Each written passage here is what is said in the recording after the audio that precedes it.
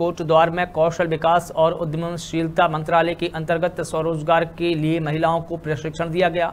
उद्योग महाप्रबंधक शैलेंद्र डिमरी ने कहा कि महिला प्रशिक्षण देश की महिलाओं के कौशल प्रदान करने के लिए है, जिसका उद्देश्य विभिन्न सामाजिक, आर्थिक स्तरों और विभिन्न आयु की महिलाओं को रोज़गार के अवसर मुहैया कराना है।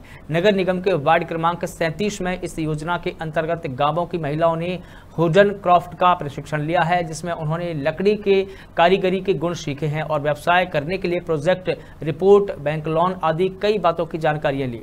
इस दौरान ग्रामीण बैंक मैनेजर कुसुम लता द्वारा बैंक की बारीकियों को समझाया गया है। इस वर्ष देहरादून के माध्यम से यहाँ पर कास्ट कला पर ट्रेनिंग दी गई है।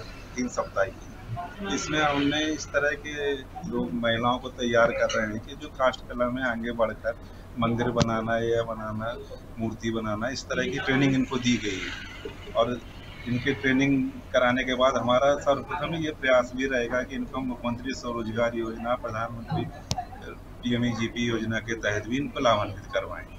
एक साल पहले हमने योजना के बारे में अपने नेचर पैड पे उद्योग विभाग से और ये जो हमारे मैनेजर साहब आए थे ना इनसे विमर्श करा था और कागज़ पत्र बनाए थे। और ये यहाँ के लिए कहा था कि हमारे इस क्षेत्र में ये ये केंद्र सरकार की योजना है। यहाँ पर इस योजना के अंतर्गत हमने इस पर लाए थे।